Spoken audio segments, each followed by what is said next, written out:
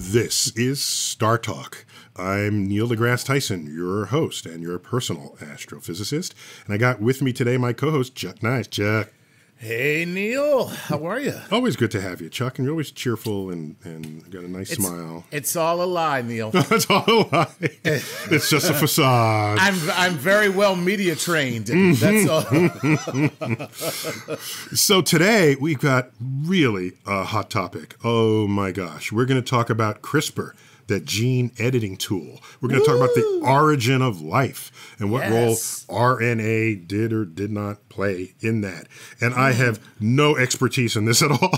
so uh, we ha- we're going to feature an interview with Jennifer Doudna, who is an expert in this. In fact, she's co-invented CRISPR and in fact was recognized by the 2020 Nobel Prize. Yeah, the Nobel Prize for that.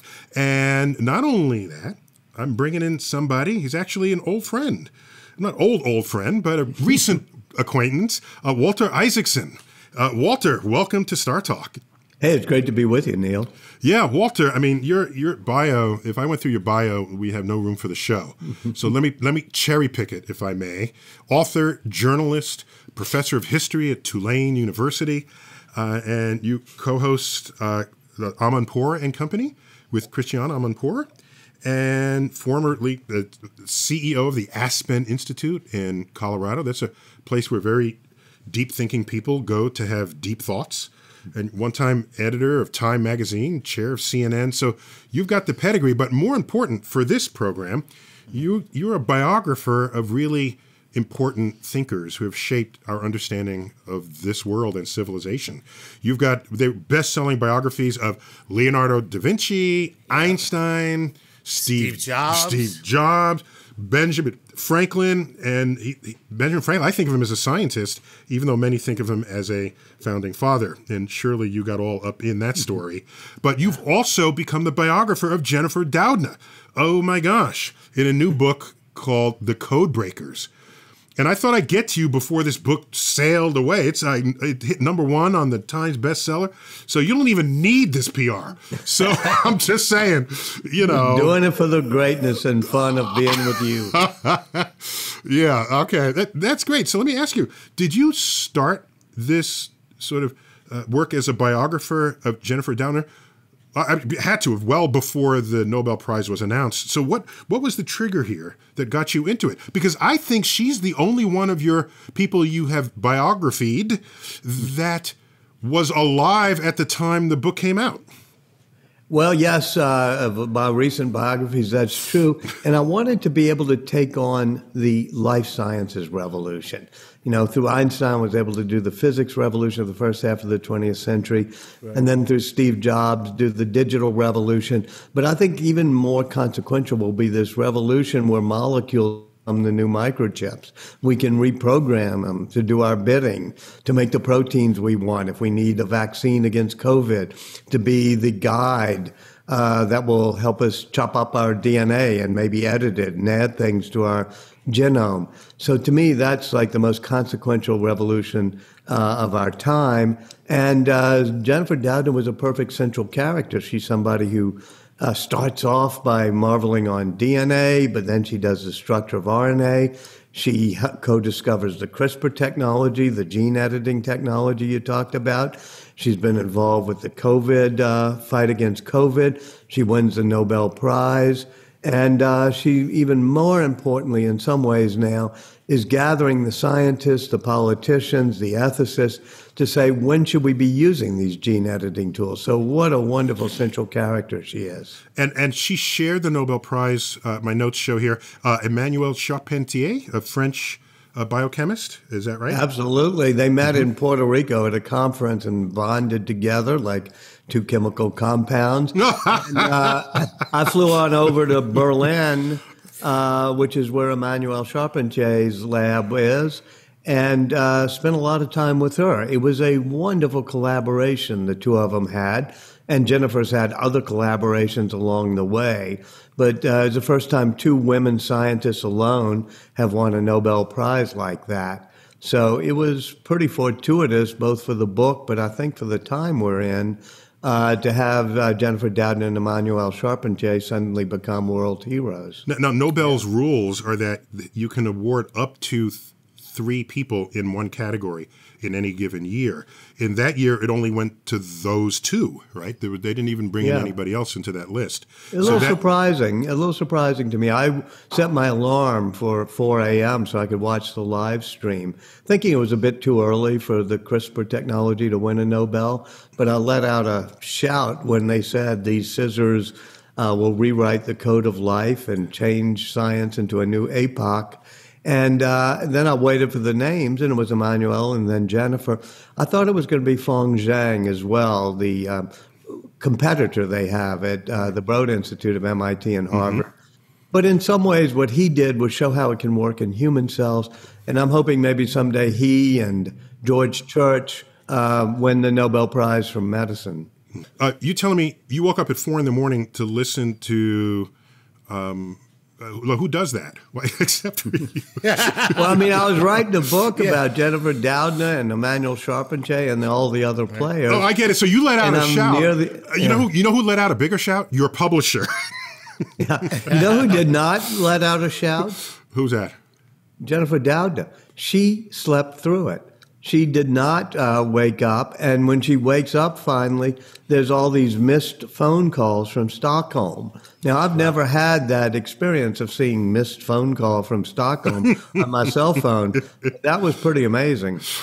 Yeah, that's uh, that's what we call a baller move. Oh, you yeah, know? yeah. where where you're so confident, you're like, yeah, I'm a, I'm gonna go to sleep. Yeah, and, and, and I'm, I'm badass, and they can wait. You know, Right, Stockholm can yeah. wait. It's, it's Stockholm can wait. Yes. well, her career began studying RNA uh, and and our origin of life. We think possibly began with RNA. So I chatted with her about her origins. Let's check it out.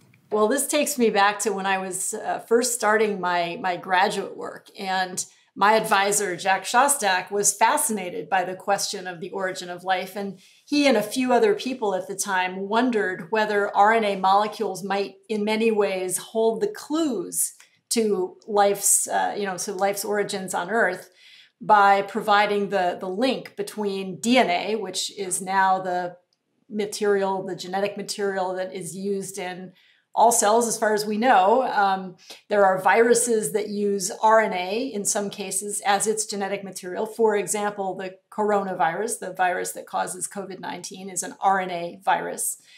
And, um, and the fascinating thing about RNA, and the reason why I got interested in it, is because it's a molecule that has fundamentally the ability to not only encode genetic information, but also to do chemistry. So that means that RNA molecules have the ability to form three dimensional shapes that allow them to do things like cut and paste other molecules of RNA. And some people think that that might have even allowed very primitive forms of RNA to make copies of themselves. And that would potentially have formed the basis for a self replicating RNA based system or world early on in the origin of life. So that was how I originally got interested in it.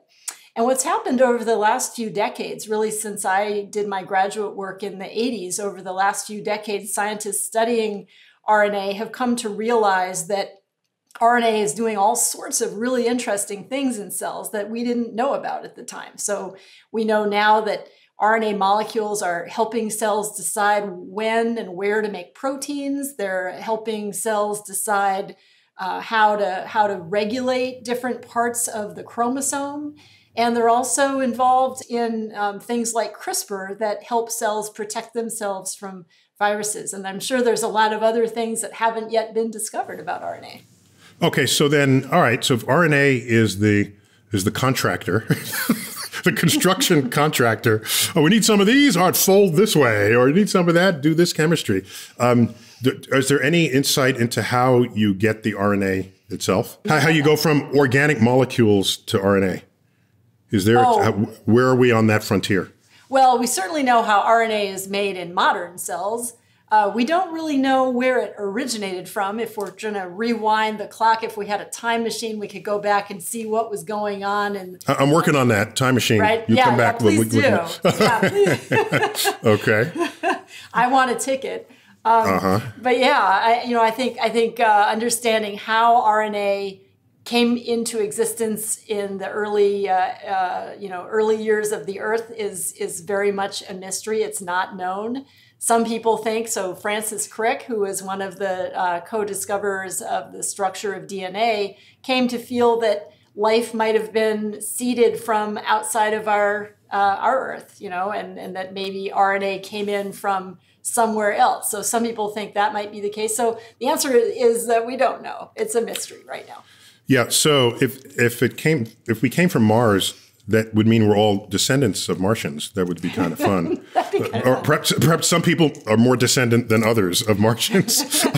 yeah. So she was talking about that's basically we say in, in astrobiology the panspermia hypothesis. Mm-hmm. But if if uh, life on Earth came from Mars, then you still have the question of how life on Mars began. So so Walter, here she is getting all into RNA, but but recent memory tells me that her whole world her her her scientific community was all about DNA and the Human Genome Project and recombinant DNA and gene therapy. So how does she end up swimming upstream against all of that to end up focusing on RNA?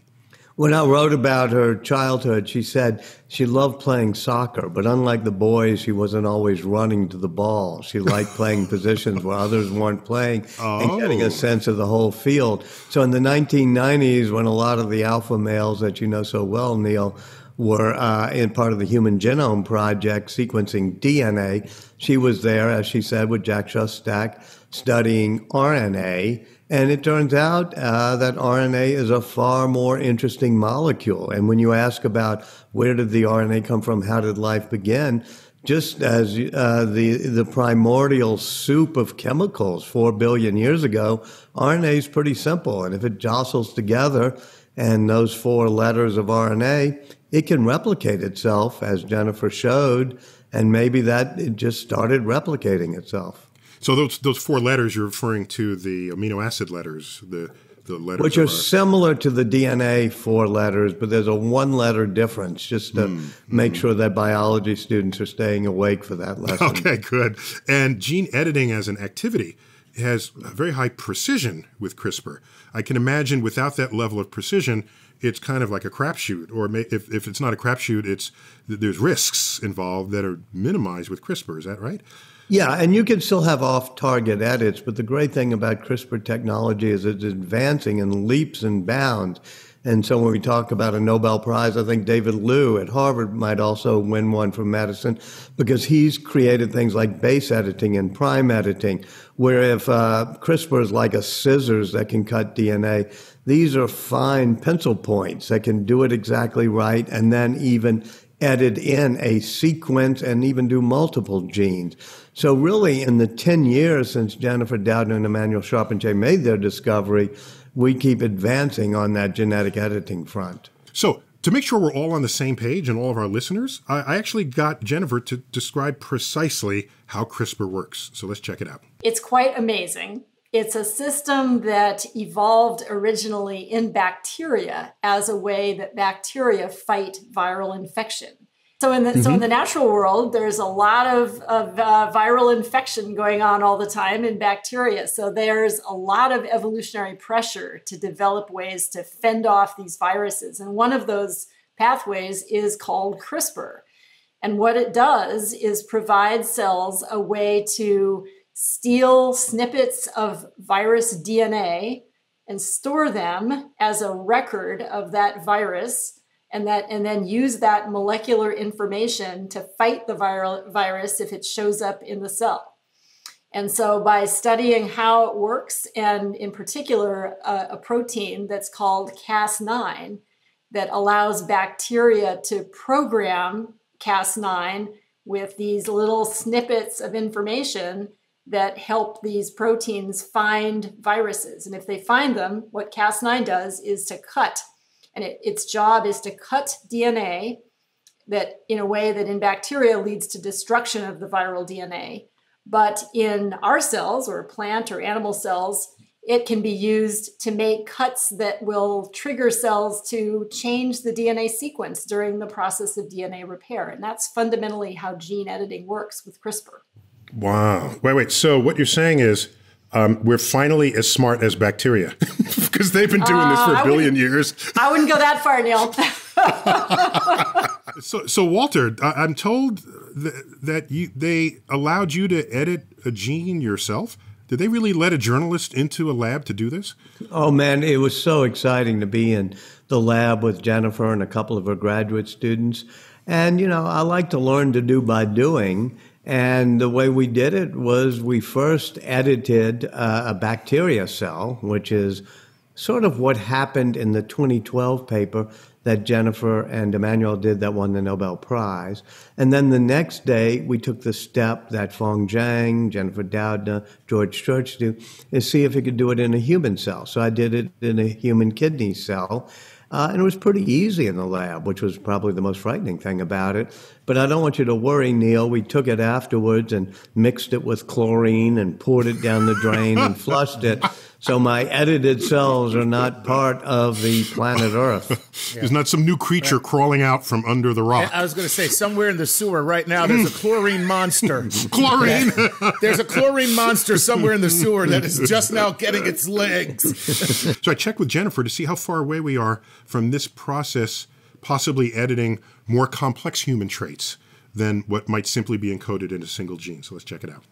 this probably won't come as a surprise to many people that, um, in fact, there isn't a single gene for musical ability or, or uh, you know, uh, astrophysical inclinations or, um, you know, things like that that we can put our finger on. And in fact, it's, you know, by far typically the case that for human traits, there are probably dozens, if not hundreds, or even more uh, genes that are involved. And so the reality of you know genome editing to create uh, people that have you know particular uh, intellectual capabilities, for example, is I think you know a distant uh, possibility. However, again, you know, just circling back to what is possible. I think you know already on the horizon we have the potential to manipulate individual genes that are known to either directly cause disease or you know give uh, people a uh, uh, sort of a uh, propensity to develop disease. And I'll give you a couple of examples. So, you know, I think uh, many folks are familiar with a disease called sickle cell uh, disease or sickle cell anemia. So that that is a very well characterized genetic disease that results from a single mutation in a single gene in in the human genome.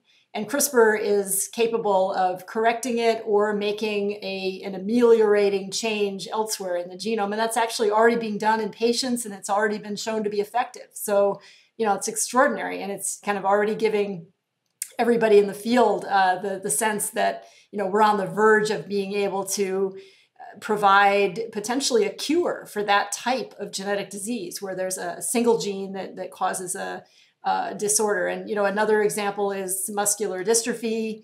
Uh, cystic fibrosis is in this category, and, and there are there are quite a few others. So I think you know that's where CRISPR is going to have a real impact. Walter, uh, it's not surprising, I guess, that DARPA took interest in this technology, the Defense Advanced Research Projects. Uh, uh, what does the A stand for in that? Agency. Agency. So, what is it that they what what are they going to do with it? You know, first of all, a, a, malevolent actor or enemy power could decide to use CRISPR to do anything from creating gene drives that will change mosquitoes so that they can carry deadly pathogens, or as Vladimir Putin said to a youth conference in Moscow, maybe we'll use CRISPR to create soldiers that don't feel pain or don't feel fear. And, oh, that Vladdy. He's such a romantic. and uh, so you can imagine the Defense Department is one of the biggest spenders in this area. They've come up with, and uh, a person who's been working with Jennifer was part of it, uh, something called uh, anti CRISPR, which is pretty much uh, what it sounds like. And just like we may have ballistic missile systems, and Russia may have them, we develop anti ballistic missile systems. So I think we have to guard against, uh, you know, bad actors using this technology. So science fiction becoming science. It's, it's, it always happens, doesn't it, Neil? Man, yeah, that's that's what it's the it thing is. about really great science fiction is that half of it's already happened. Hmm. We're going to take a quick break, but when we return, we're going to address the philosophical and ethical implications of CRISPR when Star Talk returns. We're back. Star Talk. Chuck Nice, co-host Chuck. Hey, hey, Neil. They're tweeting at Chuck Nice Comic. Thank you, sir. Okay, I, like it. I like your, your occasional posts there. They, they make me smile. Oh, uh, thank But sometimes they're like making fun of other people, and I guess that's still okay sometimes. I, I am a comedian, and so that's what, how that works. I mean, that that's how you roll. territory. so we're talking about gene editing. Oh my gosh! And we're featuring my interview with biochemist Jennifer Doudna, and recently winning, sharing the Nobel Prize in this very subject, and Walter Isaacson, the one and only biographer of genius out there, as well as other things he's done in his career, of course. And I want to uh, talk about the ethical challenges that this technology brings. And uh, let me actually begin with a clip uh, of Jennifer Doudna addressing the difference between somatic editing and germline editing in the CRISPR technology. So let's check it out. Germline means changing DNA in embryos or uh, other kinds of germ cells like eggs or sperm, basically cells that can produce an entire organism. And if DNA is altered in those cells, then the, those changes become part of the entire organism.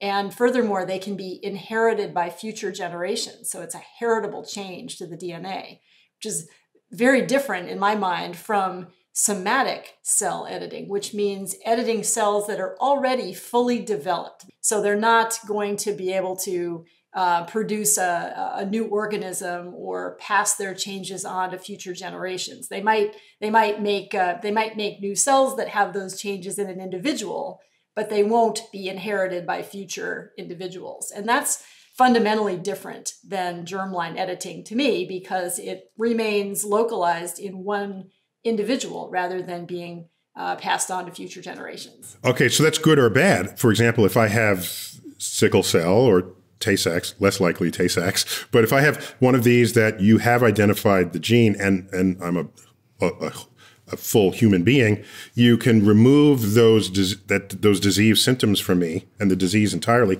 but I still carry that into my offspring. Correct. Indeed. Yeah. So right. so why yeah. wouldn't you want germline editing? Well, you might want to, right? I mean, I think there may come a time when we decide that it would be unethical not to do that in the germline mm. for certain certain types of disease. I don't think that time is now. I don't think the technology is where it needs to be, for one thing, and also I don't think that uh, you know society is ready for this. Like, how do we ensure equitable use, uh, affordable access, all all of those sorts of things. But you know, if we set all that aside for the moment, I think what you just said is a is a very real possibility that in the future the technology is robust and we decide that uh, we meaning you know I don't know who we is really here, but you know maybe a parent would decide that you know I would really like to not pass this trait on to um, my children, and furthermore, I don't want my children to have to deal with it when they come to, around uh, time for them to have kids, and so I'm just going to get rid of it once and for all by editing the germline. That that that could happen in the future. Walter, most conversations about CRISPR are not so much about the innovative science of it, but about the ethical and moral implications. And you devote a, justifiably a significant um, real estate in your book uh, addressing these issues. Can you can you help help us through mm-hmm. how bad it could get relative to how good it could get? Well, I think most of what will happen will be really good because every creature, large and small, on this planet uses every trick in its playbook to say, okay, how can I thrive? How can I survive? And I think humans can and will and should do that. Uh, the question is when you start doing things that could be problematic. One thing that would be problematic is if we just let this be a free market thing where rich people can buy better genes for their children and make them taller or make them, you know, boost uh, whatever their muscle mass, whatever they want to do. And not only will that uh, uh, increase the inequality in our society, it will encode it permanently in our species, which would just be a eugenic horror show uh, you know, like Brave New World or the movie Gattaca. We don't want that to happen. The other thing is that uh, one of the really important things about the species that makes it creative, but also makes it, uh, you know, resilient, helps it survive, is that we have a lot of diversity in the species. People tall and short and fat and skinny and gay and straight and trans and, you know, different hues and different backgrounds and different personalities. And if all of a sudden parents are saying, "Here's the model child we want," we won't we won't have a great diversity in our species. I think those are science fictiony in the moment, meaning we're talking 20, 30, 40 years away. But when Jennifer says we should decide this, but then says, who is we? I'll answer that question. We is me and you and everybody listening to this podcast. We ought to be somewhat familiar with uh, these problems We're that are going to happen. We're all screwed. Walter just showed us if, if it's up to us as a society, we're oh well. Wait, wait, Walter. It is it is inevitable that if we can remove bad traits, that we can add good traits. So you'll say that's not good, but what's going to stop it? Who's who, how's that going to? Is there is there? Are you imagining a realistic future here rather than a utopian future? Oh yeah, I mean, I think there are all sorts of medical procedures that either get approved or don't get approved. Oh, okay. Uh, whether they're drugs or It's the approval list. pharmaceuticals. There it is. And yeah, is. and I think we have international conferences. Uh, Jennifer Doudna in my book, we I- you know I travel with her and she gathers people from around the world. And so the Chinese Academy, one of the characters in my book is Zhuang Jingpei, who is one of the people at the Chinese Academy, uh, Robin Lovell Badge at the Royal Academy in England. All these people trying to figure it out. And once you have an international consensus and things get regulated, sure, some people will be using off target, you, you know, pharmaceuticals, some people will be trafficking in elephant tusks. But we can try to minimize those things by saying they're not legal. I was So- going to say, but doesn't it? I mean, if once you once you do have a roadmap as to what is indeed ethical, inevitably what you will have created is a black market for those who want to circumvent those those ethical guidelines and create whatever the hell they want to create. That's what he just said about the tusks. So That's what I'm saying. Yeah. so, so- what? It, no. So, uh, uh, but it's easy. My point. Uh, that's my question. Yeah. It's easy to find the person who was trafficking in Tusk. How do you find the person who made my kid LeBron James when both my parents are white? But yet somehow, here I am, LeBron James, the greatest basketball player ever. Like we don't have any idea how that happened. Like how do you? How would you even police? you that? can't do that on a street corner, right? It would have to be. Well, you know, a lot of things are kind of hard to police, but, you know, we can't stop it all. I think we're going to be able to save our species if we make sure that maybe 1% of the cases uh, sneak through because people engage in medical tourism or they find some back channel way to have gene editing in the next 30, 40, 50 years. But I think we as a society are pretty good at saying these are the things we aren't going to do, whether it be through regulation or just social shaming. Well, well Chuck, Chuck, we have a, a, a sort of example of that because back in 2018, uh there were scientists in China that used CRISPR to actually edit, Edit. the embryos of uh, unborn human embryos to make them HIV resistant. Resistant. And so I just had to ask Jennifer about that and get her reaction to what it means in the present and in the future. Check it out. Yeah, so this this story was, um, you know, probably the most shocking uh, so far with CRISPR, honestly, because in this situation, a scientist had actually used CRISPR in human embryos, not just for research, which has been done in other labs, but uh, for the purpose of implanting those embryos to create a pregnancy. And in fact, that did occur, and uh, those those children were were born. And as you mentioned, Neil, the the stated purpose of that uh, that work was to protect those kids from future infection by HIV using a, a CRISPR based approach where their cells were um, were uh, uh, you know edited so they couldn't express a protein that's necessary for HIV infection. So while that might sound like a good idea at, at a high level, it turns out that there are already very well known um, you know, other uh, ways of treating or preventing HIV infection for kids that are born to parents that might have a pre-existing HIV infection. And also, I think in this in this instance, it was uh, absolutely irresponsible and, and, and, frankly just flatly unethical to use it in uh, in this way because uh, for many reasons. But one of them is that uh, the you know the parents I don't think could really understand uh, the technology or just how how experimental it was and how untested it was. I mean, to do this on your children is is you know kind of the most extreme um, use of, of something like this, and also just that uh, you know I think even the the the data that were published for that particular uh, application showed that the technology itself is just not not ready for that kind of use. We don't have enough control over it yet in embryos to use it safely. Oh, right, but so so how do you regulate it then? Do you just make it so socially and ethically objectionable that there's cultural pressure against it, or or do you need actual laws, uh, governmental laws, and, and international treaties or regulations surrounding it? What what's that going to take?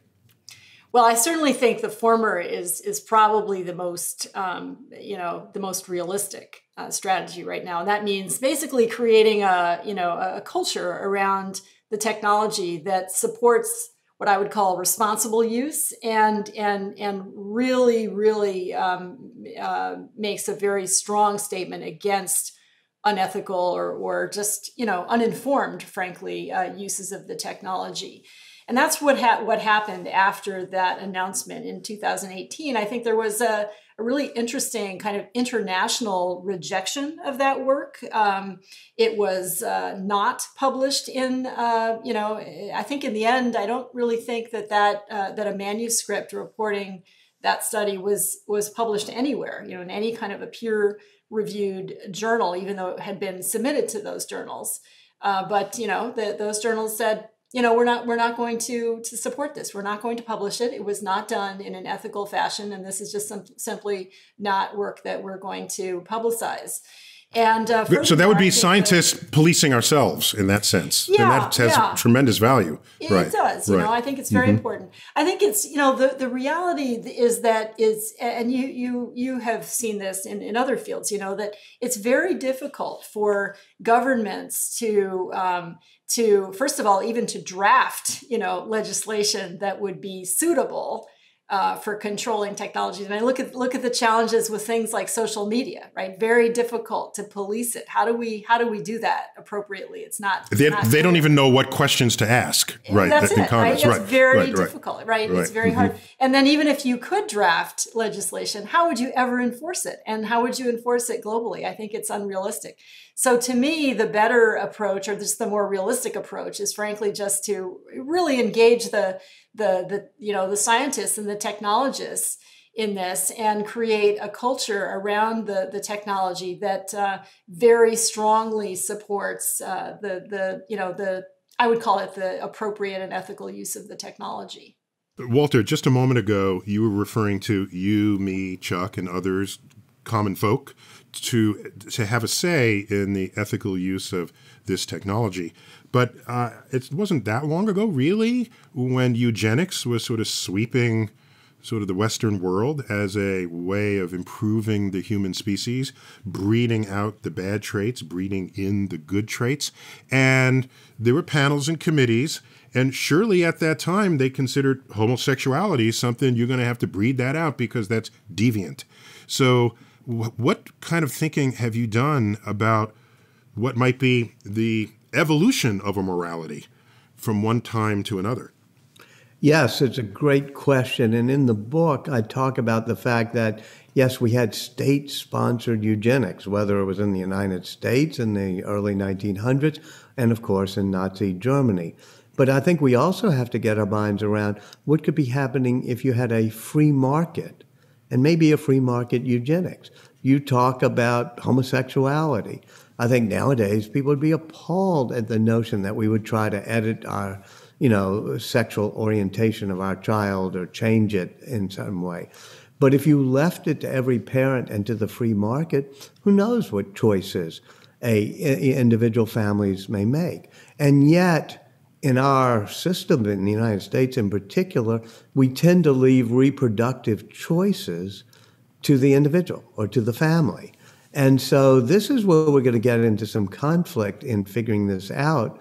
Because I think sometimes it changes if you're in a fertility clinic and it's confidential and nobody's know what you can pick. You might pick the gender, you might pick the gender orientation, you might pick anything uh, as your designer baby behind closed doors. Yeah, behind closed doors. And so I think that's why our whole morality has to change. We have to say what are true disabilities, such as having Tay Sachs or sickle cell, and what are things that we may that society may uh, cause to be disabilities, but shouldn't be.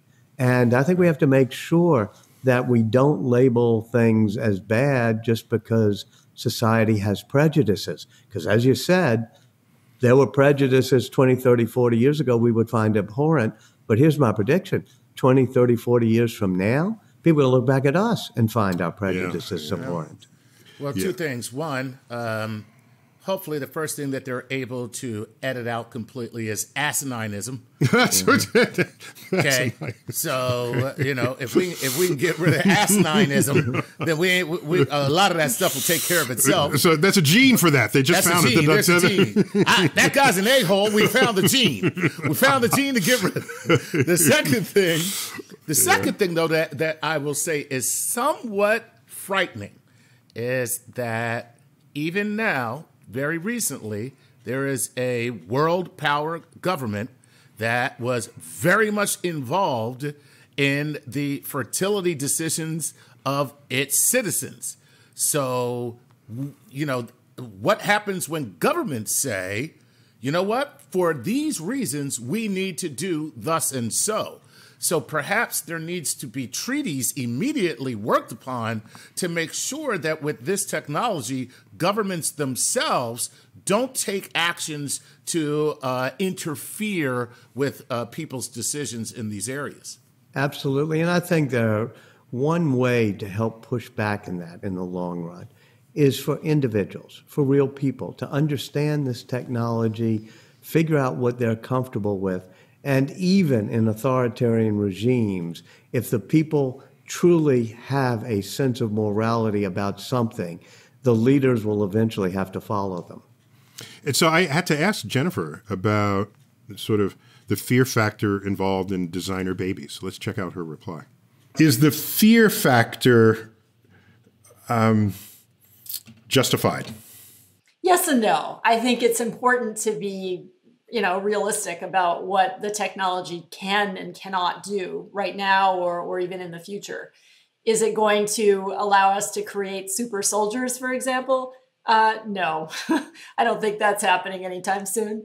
But you know does it have the potential to allow parents who are using in vitro fertilization to make tweaks to their their uh, children's uh, DNA? Yes, it, it, does, and so that does bring along, I think, very important questions, uh, ethical and otherwise, that have to be addressed. Um, and and so that's where I sort of feel that you know having that conversation now, even while the technology is still developing, is very important. That's really good so that it doesn't bite us in the ass when it's too late. Yeah, I, I, I hope that's the case for sure. We got to take another break, but when we return, uh, Walter, I want to get into what role CRISPR may have played in the race to find a vaccine for this virus, this pandemic that we're in, uh, when Star Talk returns. We're back, Star Talk. We're talking about gene editing. We're talking about CRISPR. And in this segment, we're bringing COVID into the mix. And we're featuring my interview with Jennifer Doudna, a biochemist, who invented CRISPR. Somebody had to do it. There she was with some close colleagues of hers. Um, and we've got the person who has served as her biographer in this modern time, Walter Isaacson. Uh, Walter, it's always good to see you and always good to hear what you have to say. Uh, and of course, uh, Chuck Nice. Um, I oh, mean to sound like it sounds like oh, and Chuck Nice. of course, because that's exactly what it was. Oh, yeah, I mean, here I am. Let's be honest. I'm sitting here with the world's most renowned science educator and the world's most renowned biographer. Of course, it's going to be oh yeah, and Chuck Nice. Chuck. we love you, Chuck. Uh, uh, Jennifer, if you only just joined us, Jennifer uh, actually won the Nobel Prize in 2020. Walter, she won it in biochemistry. Why didn't she win it in human physiology? Because that's a whole other category, and it seems like that would be appropriate. Or are they saving that category for more, uh, more rewards for this discovery? It was a basic discovery in science. It's how the chemistry of this tool works. And it was done in labs and done in test tubes. And so I think it was appropriate that it was the chemistry prize. I do think people are now applying it to humans and using it as a medical tool. And I hope eventually that some of the people doing that including George Church and Feng Zhang, who first showed how it could be used in human cells, and David Liu, who's creating new ways to use CRISPR technology for editing in humans, that someday they may win the prize in medicine. Mm-hmm, mm-hmm. Okay, so that's so this is this is the right way this would happen because the there's a there are conduits that connect branches of science that are in sure. nature it does it all the time and it's kind of artificial that we even do it at all so the fact that you have a basic chemistry discovery that gets exploited in the service of the human condition that, that makes perfect sense walter just just the way you describe that um, let me ask you tell me about competition in science and what you've discovered in your uh, as a biographer of her work jennifer's work you know, competition is a good thing, in my opinion, and she's a competitive person. And some people say that I think meaning it to be slightly insulting, and I say, yeah, she's very competitive. Isn't that great? And when she heard footsteps in 2012, when she and Emmanuelle Charpentier were doing this discovery about CRISPR, but there were Lithuanian scientists working on it, there were people in different labs, she pushed hard to get it done fast. And competition, as you know, that's what causes us to work weekends. That was what caused Jennifer Doudna in California and Emmanuelle Charpentier in Europe to work around the clock by handing things off to each other when sunset happened in one place or the other. So I think that competition was good, but at the end, when COVID struck, they decided the labs around the world to put aside some of the competition and to make discoveries out in the open, sharing the information and not asserting patent rights. Oh, okay. So this is that. This isn't. Uh, this is duty rises above the, what was otherwise the competitive spirit. Personal, it, personal glory yeah, takes it, a back seat. It's good to know that that still exists. And you make an excellent point, Walter, about competition in science, where initially you might think of it as some kind of a dig on someone, but almost everything else we do in this world thrives on competition. You go to sporting events, you go to a track meet, you want to see who wins, and the runners want to win, right? So, and you celebrate that and the struggle that gets you there. So, there's no reason why science shouldn't be any different, especially if the end, uh, if in the end the results are uh, valuable discoveries. So, what precisely did they do to help COVID? You know, when COVID struck about a year ago, in March of last year. Jennifer Doudna had dropped her 17 year old son off at a robot building camp. And uh, she woke her husband up at two in the morning and said, We got to go back to Fresno and pick up Andy because I don't want him there in this convention center now that I hear about this pandemic. And Andy's an only child. He's rolling his eyes. But as they leave the parking lot, they get a text message saying, Robot competition canceled. And that's when Jennifer decided to gather people throughout the Bay Area, the scientists, and uh, focus their attention on turning their tools to fighting coronavirus. Likewise, Feng Zhang and the people at the Broad Institute in Cambridge, Mass. Did the same. And what they do are multiple things. One is you can easily use CRISPR, as we've talked about, as a detection technology to detect the genetic material of coronavirus. And testing was a real cock up uh, during this pandemic. Now we're going to be able to have at home testing kits that work instantly. Secondly, we can fight coronavirus the next time around the way bacteria do, which is not by stimulating our immune system, which is kind of a messy process, but just by detecting the virus in our system and cutting it up and killing it. And thirdly, that whole notion of using RNA as something you can code, which goes back to Jennifer Doudna's graduate work.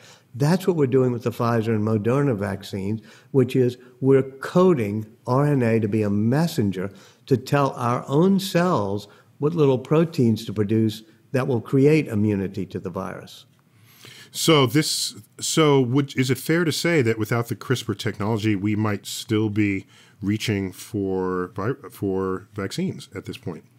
Well, no, I think the vaccines come out of the earlier work we've done on RNA, which is that you can code it to be a guide, which is what CRISPR is, or you can encode it to be a messenger telling our cells to build proteins. And it was the latter that's involved in these Pfizer and Moderna vaccines. But if it's going to be the treatments, uh, the treatments that don't even involve vaccines, that'll even be better.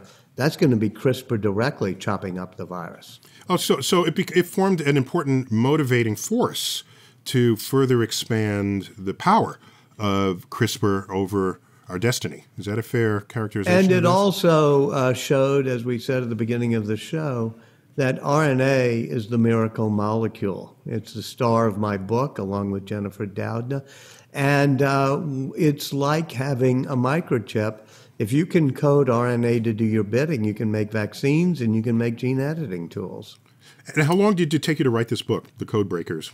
You know, for seven or eight years, I've been gathering string on it because I've been wanting to about, write about the health sciences. I was finishing up Leonardo, but I kept meeting Jennifer Doudna. And I also met George Church, who you know, and I've met uh, mm-hmm. Feng Zhang and Eric Lander and many other people in the book. And I was trying to figure and out Eric how Lander, do I make it. Wait, wait, wait, you can't just go by his name that quickly. Mm-hmm. Eric Lander is now the very first, uh, the very first cabinet science post ever in the history of the country, Eric Lander. Uh, a, a really good choice by uh, Joe Biden. Yeah, Secretary Biden. of Science for the first time. Yeah. Exactly. Yeah. And it's a great choice because what Eric Lander has shown is his magnetic ability to bring together talent, and he built the Broad Institute into the best place on the planet for translating genetics into medicine. And uh, he's, you know, people talk about competitive. He's as competitive as they come. He competed against Jennifer Doudna with his team, but they all know that they were part of a more noble mission and a higher calling. Mm. Can I ask a question that is unrelated, but I'm just gotta know? Okay. okay. And, we can always cut this, I think, out, out yes, of the we thing. Can. Okay. Yes, we can. We can always cut it. Okay. Right. But it's killing me. I gotta know this from Walter. I'm preparing because, to dock. What's that? I'm preparing to dock with no, an no, intro no. like uh, that. Okay, so check it out. So all these brilliant people that you have chronicled their lives and their accomplishments, who do you like best? okay. Well, you know, as a person, there's nobody more likable than Jennifer Doudna. And I tell you, I've written about some people, and I knew Steve Jobs pretty well. I was spending a lot of time with him when I was doing that book. Steve Jobs was brilliant. He drove people crazy. He drove them to distraction. He also drove them to do things that they never dreamed they would be able to do. But nobody said he was the coziest, warmest, fuzziest person they had ever met. Jennifer is cozy and gentle and loves to mentor people. And so I would put her and Benjamin Franklin as the two people who seem uh, just the person you want to have dinner with right. or beer with.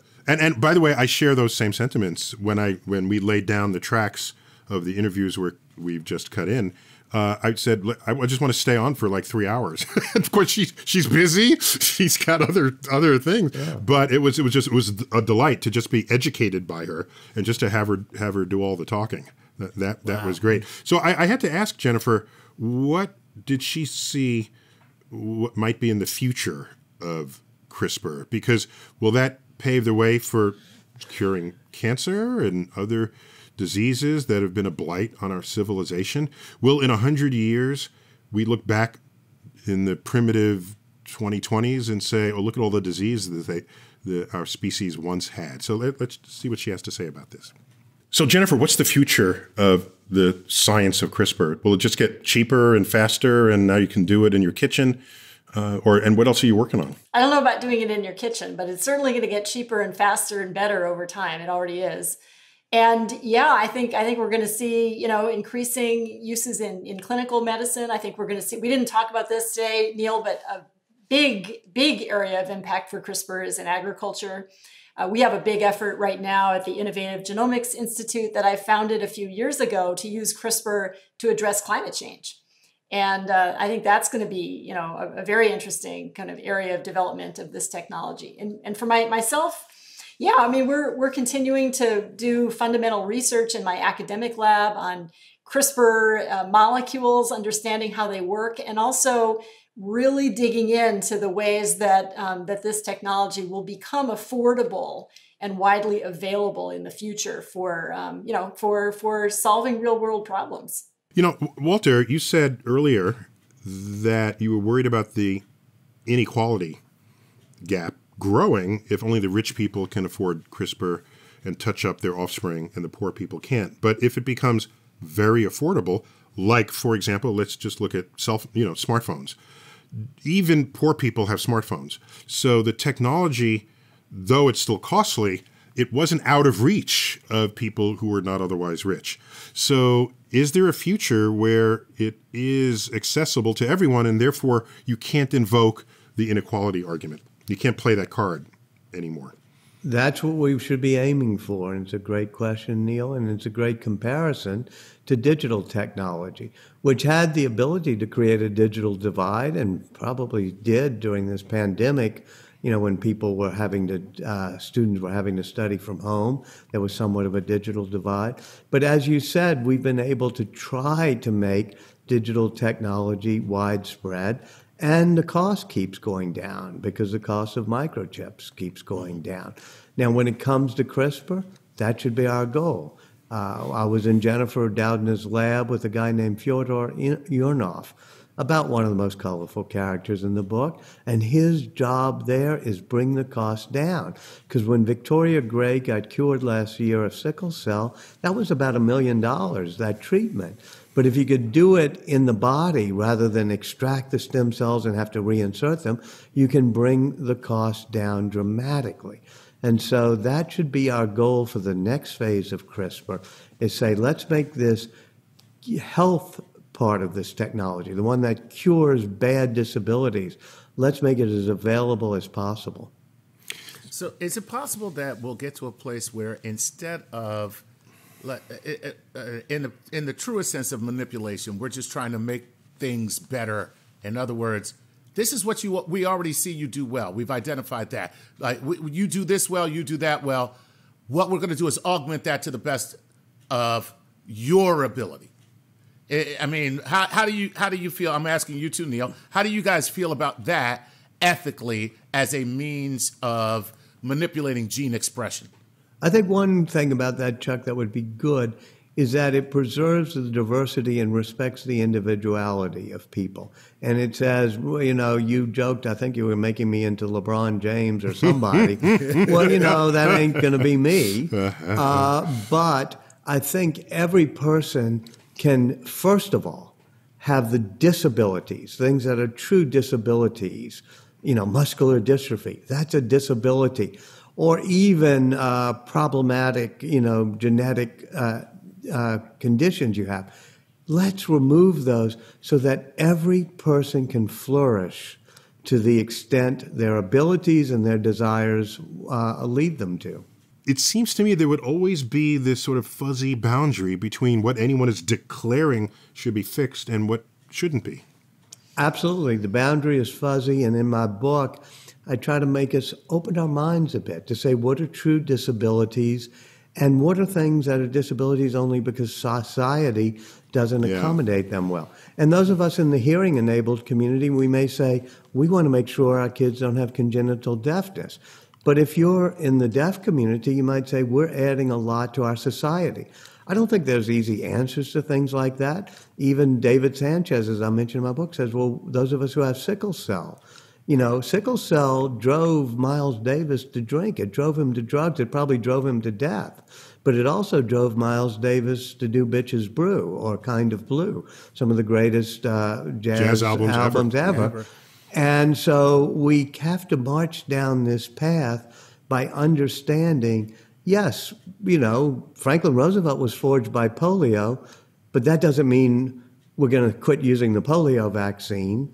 Uh, sickle cell may have forged Miles Davis, but what does that mean? Should we be editing out sickle cell? Should we be editing out deafness, shortness?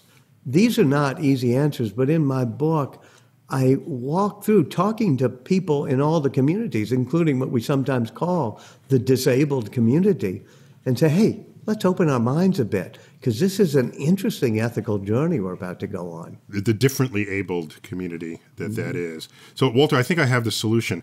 You do edit out the sickle cell gene, but you edit back in the gene for jazz. And that way, you still get Everybody's a the, winner. Everybody's a winner all around. Uh, You're, uh, you're talking to somebody in New Orleans, and In New behind me, Orleans, your that home base. balcony overlooks Royal Street, and at the moment, Doreen Ketchens is playing her clarinet. And I want to edit that gene in because I've learned I, I would love to play clarinet. I used to play it pretty well, and I want that gene so I can play it again. Well, I'm glad you didn't play so that you can write these books, Walter. It's great to have you on the on the landscape among mortal peop, mortal other folk. Um, and uh, thanks for uh, agreeing to this interview on Star Talk. And uh, Chuck, always good to have you, dude. Always a pleasure. All right, we, we got to call it quits there. This has been Star Talk. I've been your host, Neil deGrasse Tyson, your personal astrophysicist. As always, bidding you to keep looking up.